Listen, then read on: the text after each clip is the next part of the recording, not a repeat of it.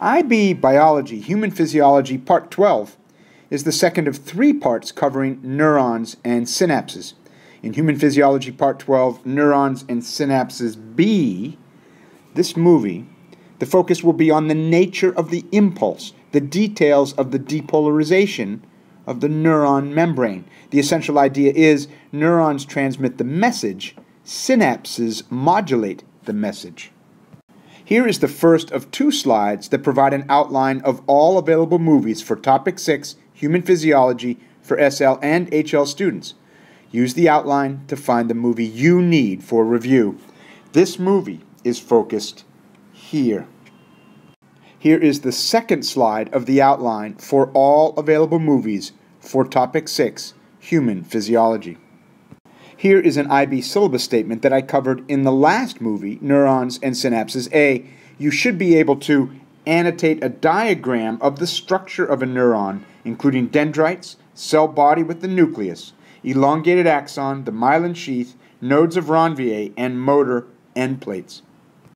In this diagram of a motor neuron, you can see the direction of signal propagation along the cell membrane from the dendrites along the cell body and along the axon to the axon terminals, where this neuron synapses with another neuron or could synapse with an effector, a muscle or a gland. You can see the myelin sheath that surrounds the axon and the gaps in the sheath known as nodes of Ranvier. Again, a motor neuron, we see the dendrites, the cell body with the nucleus, the elongated axon, the myelin sheath with the nodes of Ranvier, and the motor end plates here called axon terminals. The motor end plates synapse with effector cells such as muscles or glands. The propagation of the impulse along the membrane occurs in this direction, jumping from node to node to node, known as saltatory conduction. The dendrites of the neuron have synapses with presynaptic neurons that bring the impulse to this particular cell, where the impulse runs along the membrane in this direction to the axon terminals, which also have synapses with postsynaptic neurons or with effectors. The impulse jumps from node to node to node, allowing the impulse to move rapidly along the axon in a saltatory, jumping fashion. If you're not sure you understand what I've just said, please review the last movie, Part 11 Neurons and Synapses A. So, what is the electrical impulse and what initiates an impulse? What happens? To understand the nature of an impulse, we must start with the resting state, the resting state where there is no impulse happening. It's a condition of charge around the membrane of the neuron. You can see the neuron membrane here and here, as well as the cytoplasm notice that the membrane has more positive charge outside the membrane and more negative, in a relative sense, inside or within the cell. Negatively charged proteins assist in making the inside of the cell more negative relative to the outside. The charge difference, the charge difference is known as the polarized state, a polarized state. It's a difference in charge on either side of the membrane. There is electrical potential here, an energy potential, because these opposite charges attract, so the positive and negative charges, separated as they are, are waiting, waiting, ready to rush towards each other. This is the resting state or the resting potential, but it is a high potential energy condition. The polarized state, the resting potential, comes as a result of the sodium potassium pump. The sodium potassium pump actively transports three sodium ions out of a neuron and two potassium ions into a neuron to generate the resting potential. And the membrane potential can be measured with a voltmeter and an oscilloscope.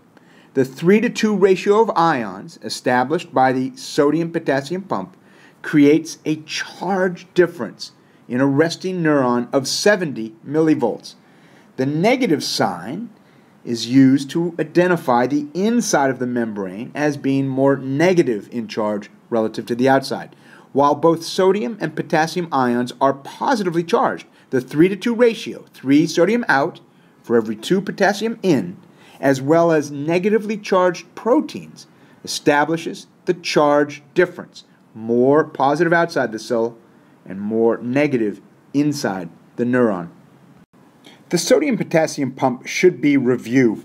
It's a protein embedded in the membrane of the neuron and it spends ATP to undergo conformational shape change to pump three sodium ions out of the neuron and two potassium ions in.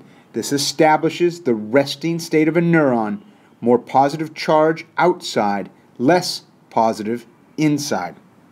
So here are the relevant IB syllabus statements.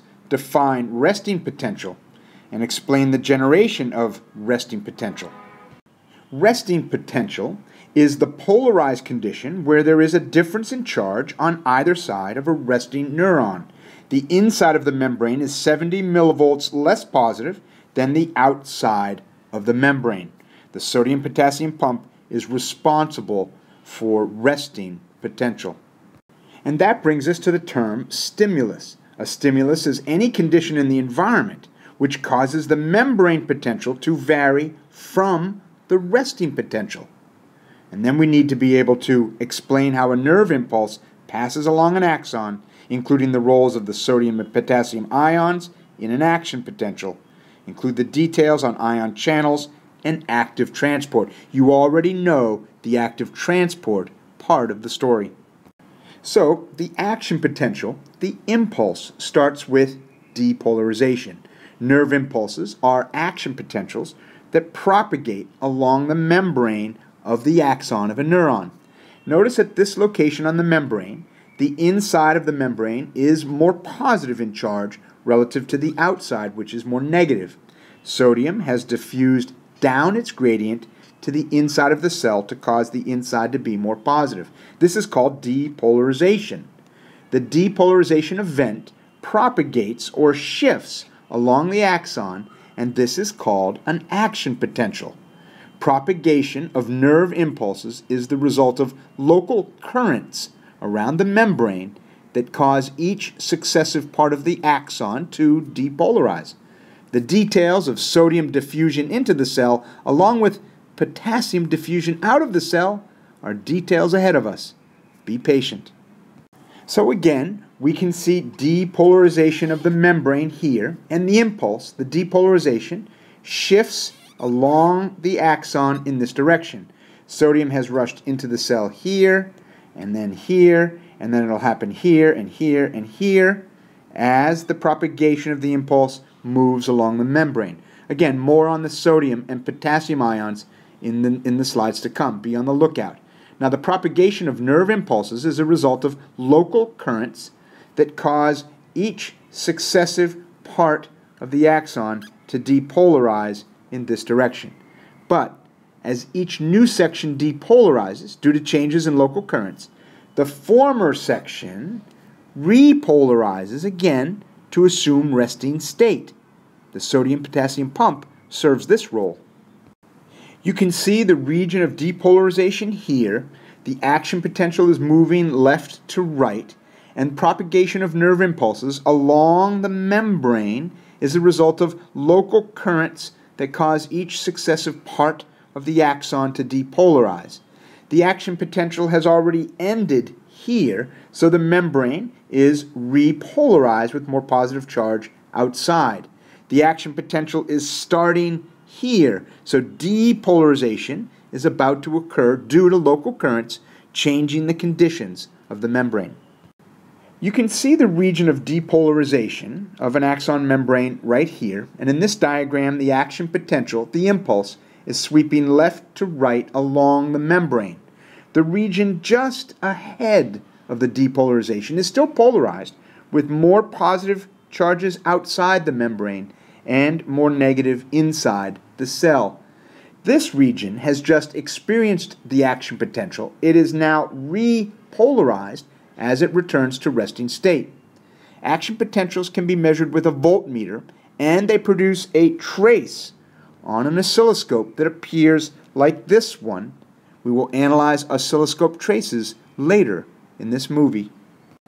One more time, we can see the action potential sweep along the membrane from left to right.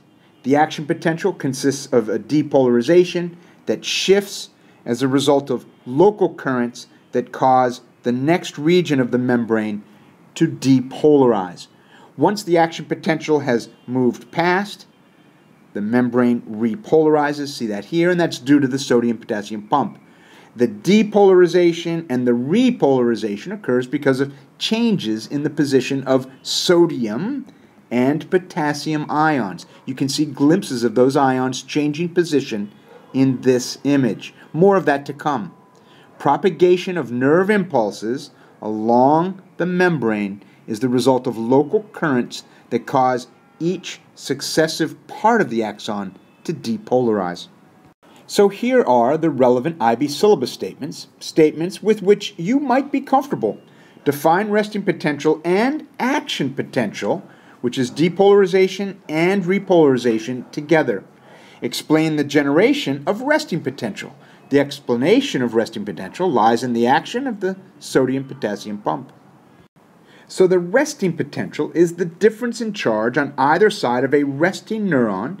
It's 70 millivolts with a negative sign in front because the inside of the membrane is 70 millivolts less positive than the outside of the membrane.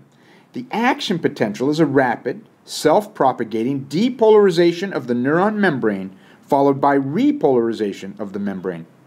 In order to understand the fundamental nature of an action potential, depolarization and repolarization, you need to know that there are no less than three neuron membrane proteins of importance. You already know the sodium potassium pump establishes the resting potential by active transport. Three sodium ions out for two potassium ions in. In the resting state, the outside of the membrane is more positive than the inside. But two other proteins serve in the role of facilitated diffusion. One protein, when it opens, facilitates the diffusion of sodium into the cell. This is the depolarization event. One other protein, when it opens, facilitates the diffusion of potassium out of the cell. This is the repolarization event. Remember, these two proteins are good examples of facilitated diffusion.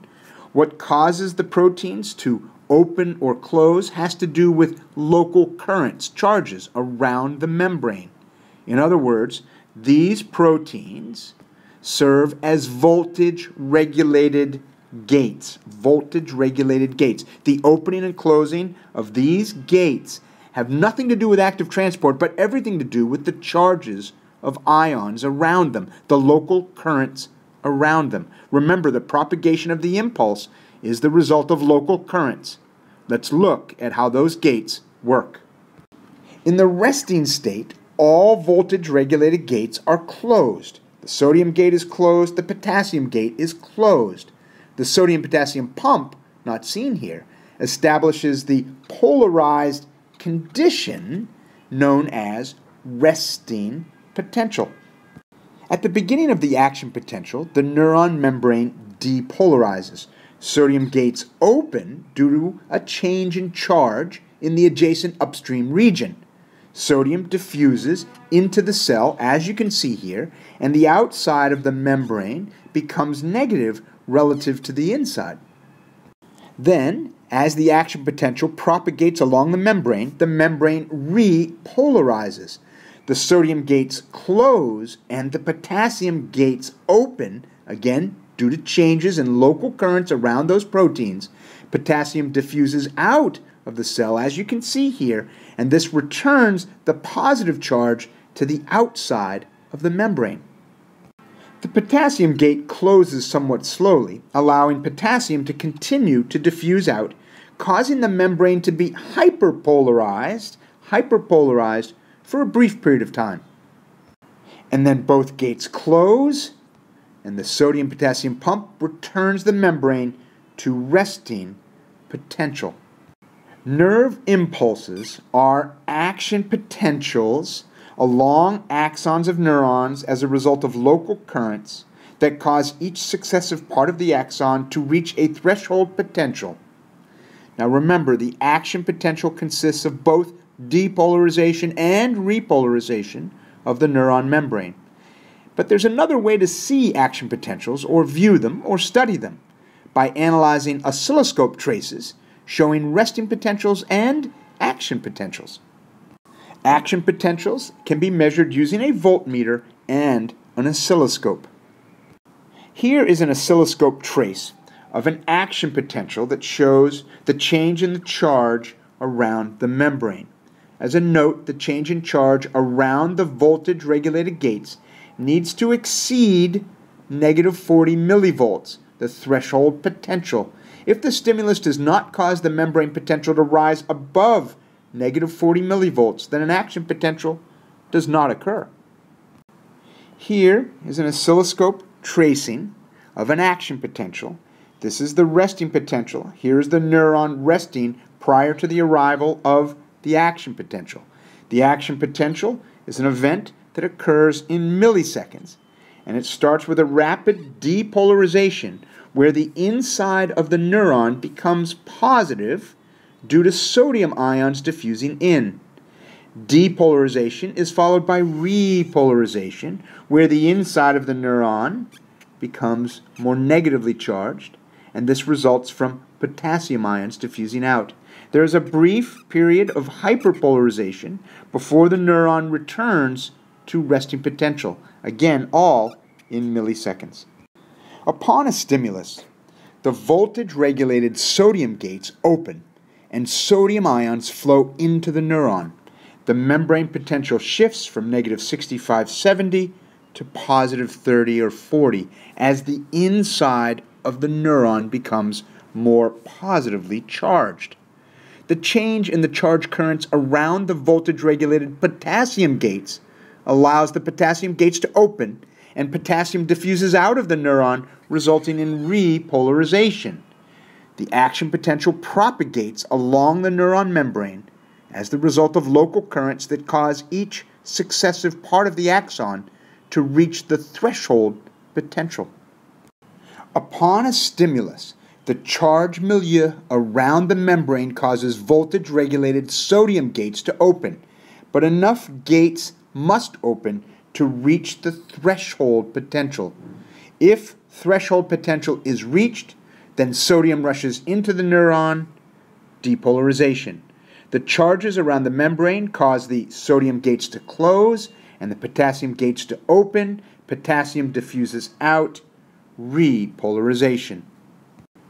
The action potential, which lasts for only a fraction of a second along any one location of the neuron, corresponds to the movement of ions when the inside of the membrane becomes more positive relative to the outside. In this diagram, you can see the relationship between the oscilloscope tracing and the charges around the membrane. This image of an action potential has all phases of the oscilloscope tracing labeled. Study this image as need be. Here is a relevant IB syllabus statement state that a nerve impulse is only initiated if the threshold potential is reached. Here is an oscilloscope tracing where the stimulus was not strong enough to cause the membrane potential to reach threshold. No action potential occurred. In this image, we can see threshold potential. We see a stimulus and a second, neither of which were strong enough to bring the membrane potential to threshold. No action potential occurred. But here we have a series of successive stimuli that together were strong enough to have the membrane potential reach threshold, resulting in an action potential. In this oscilloscope tracing, there were two weak stimuli that failed to bring the membrane to threshold without an action potential, but that one stimulus was strong enough to result in an action potential that would propagate down the membrane. And so we return to saltatory conduction, where the impulse jumps from node to node to node. The myelination of the nerve membrane allows for saltatory conduction because the depolarization of the membrane occurs only at the nodes. the impulse jumps from node to node, and this rapidly moves the impulse along the axon membrane. In this slide, we see a myelinated neuron in the upper portion of the slide and a non myelinated neuron in the lower portion. Impulses move rapidly along a neuron due to the myelin sheath seen here. The impulse jumps from node to node because the depolarization of the membrane occurs only at the nodes. In non myelinated neurons, the impulses move more slowly as the action potential chugs along every square centimeter of the membrane rather than jumping. With the next half dozen slides or so, let me review the relationship between the action potential tracing on an oscilloscope, seen here, and the voltage regulated membrane proteins that explain the action potential. I will explain images of the voltage regulated proteins according to the numbers seen on this tracing. I'll start with the number 1, resting potential, negative 70 millivolts prior to the arrival of a stimulus that initiates the action potential. Here are the voltage regulated proteins, the sodium channel proteins, the potassium channel proteins. All voltage regulated gates are closed in the resting state. The polarized condition of the membrane is maintained by the sodium potassium pump. Number two, a stimulus causes the membrane potential to exceed threshold an action potential is initiated, rapid depolarization. Number two, voltage regulated sodium gates are open, allowing sodium to diffuse into the cytoplasm of the neuron. This causes depolarization. Number three, the membrane repolarizes. Number three, the sodium gates close and the potassium gates open, potassium diffuses out of the neuron and the membrane potential returns to resting potential. Number four, the diffusion of potassium out of the neuron causes a brief hyperpolarization of the membrane. Number four, the potassium gates remain open a little longer as they are slow to close. And as the potassium gates close, the membrane returns to resting state as the sodium potassium pump actively moves ions to reestablish resting potential. In the resting state, both the sodium and potassium voltage regulated gates are closed and the membrane potential is reestablished as the membrane is polarized due to the sodium potassium pump. And can you explain how the myelination of nerve fibers allows for saltatory conduction of the impulse. The impulse jumps rapidly from node to node to node down the axon as a result of the myelination of the axon. This is because the depolarization of the axon membrane only occurs at the nodes of Ranvier. You should be able to label all of the parts of a motor neuron, a neuron that stimulates a muscle, at the axon terminals. You should also be able to tell which direction the impulse is carried along the membrane of a neuron. See me in class if you're not sure. At this point, with the study of the neuron, your knowledge of membrane proteins has grown tremendously. Here is a list of membrane protein functions, most of which should be familiar to you. I'll let you study this slide on your own. And that brings us to the end of IB Bio Topic 6 Human Physiology Part 12 Neurons and Synapses B.